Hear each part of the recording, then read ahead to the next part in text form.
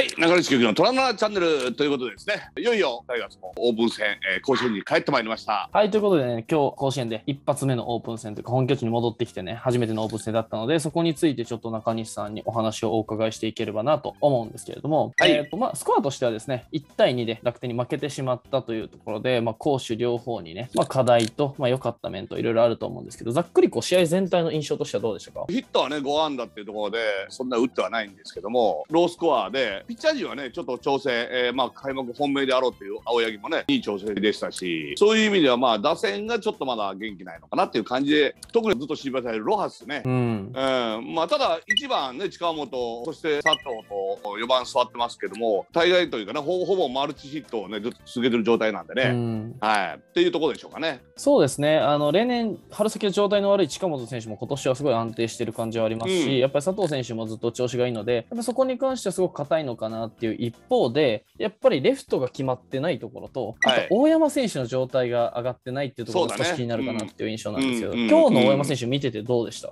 いや、今日もね、ヤクルト戦もそうでしたけど、やっぱりこう状態的にはあまり良くはないですね。やっぱりちょっと腰が引けるというかな、こう、ちょっとタイミング的に合ってないっていう、そういうスイングが多いですよね。うーんうん、本来のこう大山の前に大きくっていうこうフルスイングができてないような、そういう感じがしますよね。うん確かにそうですね、やっぱりなんか、うん、僕たちがこう試合を実際に見たヤクルト戦の時もやっぱりちょっとタイミングがずっと合ってないのかなっていうのは感じていて、うんなんかそこの修正がまだ効いてない印象はありますよね。そうですよね。状態的には今はちょっとお落ちてるのかなという感じはしますよね。はいまあ、ただ3週間あるんでね、これからいかにこう上げていくかでしょうけども。そうですね、まあ、正直、大山選手はね、状態が悪くてもというか、まあ、レギュラー確定なところはあるし、あると思うので、うん、当然出なきゃいけない選手ですからね。うん、中西さんとしては、そこはなんか状態が悪いと言って外す必要はないというか、外してはいけないっていうイメージね、ここもあのハウス選手ではないんでね、まあだから外さないんで、状態を上げてくるよっていうところですよね。そうですね。問題はだからやはりロハスでしょ。はいはいはいはい。うん、ここは全然こう上がってこないというか、まあ、この選手はレギュラー確定の選手じゃないんでね、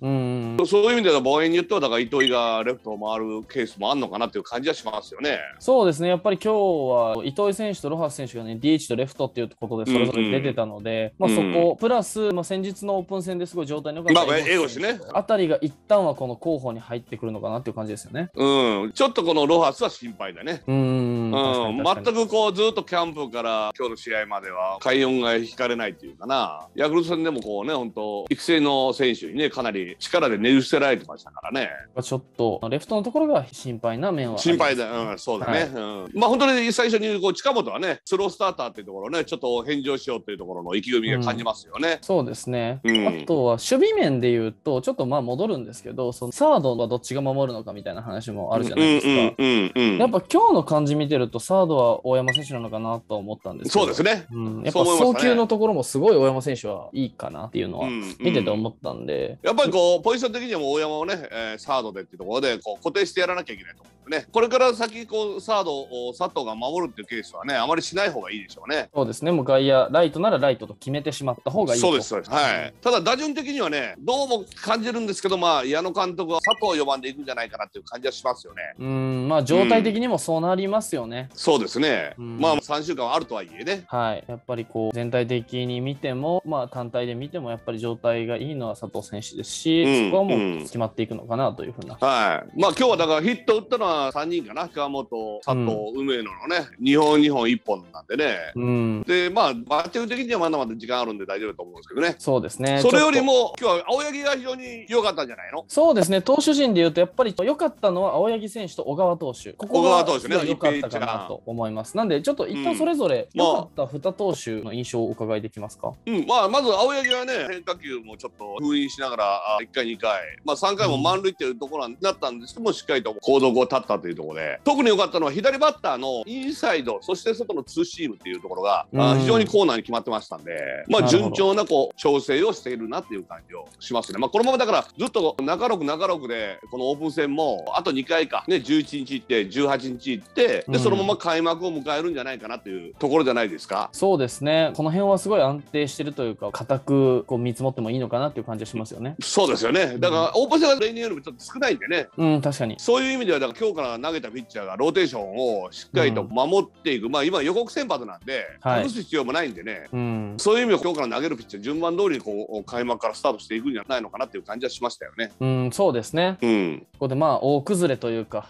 極端にこう状態が悪い感じが出なければ、こうでいくのかなっていう感じですね。そうですね、はい、まあ我々1か月ちょっととかね、40日ぐらいオープン戦の時間、開幕まであるときはね、最初3イニングとか、あ短いんで、中5で行ったりとか、途中でずらしながらっていう感じで、こう開幕ピッチャーをね、ちょっとこう分かんなくはしてたんですけども、うん今のや野球っていうのは予告先発なんで、今日から投げたピッチャーがそのまんまヤクルト戦に行くのかなと、まあ明日は藤浪、で、明後日はガンケルっていうところで、はい。このままその3人がこう行くんじゃないのかな。あと2回、中6日っていうところをシーズン同様コンディション作りして、えー開幕を迎えてくれっていうところなんじゃないのかな。はい、そうですね。で、あとは、小川投手がすごい良かったんですけど、ここよかったね。非常に今日はね、悪い時っていうのはゾーンがね、高く上がる。そしてフォアボール出すっていうところあったんですけど、うん今日は非常にこうアウトローの低いゾーンに投げれてたんで、もともと真上から投げるピッチャーなんでね、だから低めにこうゾーンに決まれば非常に角度のあるいいまっすぐ投げられるピッチャーなんで、そういう意味では今日の内容ね、まあ三振も5つ取ってますけども、これを続けることですよね、リリーフなんで。そうですね。ううん、まあちょっと3イニングっていうねリリーフにしては長いイニング投げましたけども、はい多分まあおそらく渡辺投手は2イニング行く予定だったのが1回2失点っていうところだったんで小川投手がね3イニングになったのかなっていう感じはしますけども。小川投手のいいところっていうのは何ですか？やっぱりまっすぐでしょ。真上から振り下ろすまっすぐ、これが一番のいいところっていうか特徴じゃないですか？なるほど、なるほど。うん、だからただあの、うん。安定してこないんでそこリリーフなんでやっぱりこう安定していく。でうん。常にいい状態じゃなくても、おマウンドに上がらなきゃいけないんでその時にどのボールでこうかわしていくのか抑えていくのかっていうところを覚えていかなきゃいけないでしょうね。うん。うん、だからまっすぐが行った時はいいけどもまっすぐ行かなくなった時に行ってないな今日はっていう時にはどのボールで工夫していくのかまたどれどの制球力で工夫していくのかっていうところが必要になってくると思うんですけどね。調子がいい抑えた悪い打たれたじゃ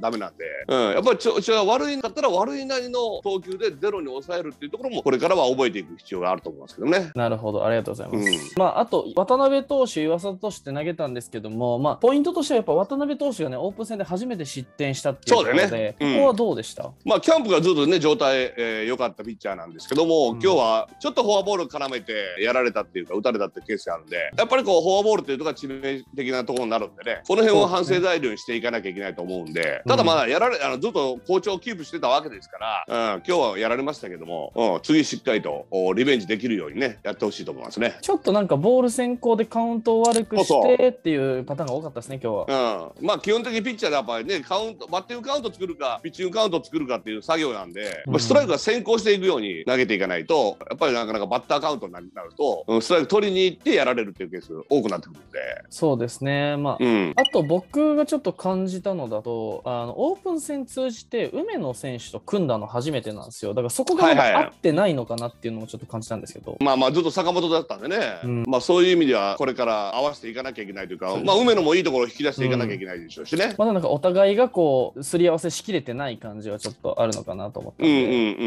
ん、その辺はブルペンでは何回も受けてるわけですからね。うん。や,、うん、やっぱりその辺をしっかりとこう呼吸を合わせていくっていうの作業コミュニケーションっていうのも大事になってくると思うんでね。はい。だからまずまずニューカウントストライク取るね。はい。やっぱりこの平行カウントをしっかりとストライク取れるようにピッチャー特にリリーフ陣は頑張らなきゃいけないでしょうね。うん。そうですね、はい、そうするとやっぱ抑える確率は高くなってくるんで逆にボール先行になってくるとやっぱりやられる確率っていうのは高くなりますから。ありがとうございます。まあそんな感じでねちょっと明日明後日とまだまだオープン戦は続くのでうん。まあ、そこも選手調整していきながらになるとは思うんですけど、まあ、これかはい。ら開幕に向けてね、いろいろ注目して見ていければなと思います。そうですね、はいまあ注目するところはやっぱり開幕投手そして沖縄からもずっと言ってます右のリリーフ投手あとは4番を誰が打つのかはいっ。ていうところはやっぱりこう注目していきたいと思いますね。はい。はいまあね、あの、LINE の方でもね、ちょくちょく配信は流していくので、まだ登録してない方がいれば、ぜひ公式 LINE の方に登録していただければなと思います。はい、よろしくお願いします。はい、ということで、まだまだね、オープン戦続きますけども、いろんな意味でこう注目する、そういう試合がね、多くあると思いますので、またまたそういうところができましたら、どんどん配信していきたいと思います。よろしくお願いします。